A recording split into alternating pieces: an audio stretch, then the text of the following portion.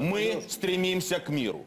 Мы хотим мира. это. Но мы хотим мира не любой ценой, и не путем, и не ценой капитуляции Украины. На украинских условиях, и по нашим правилам, и по украинским законам. Спасибо.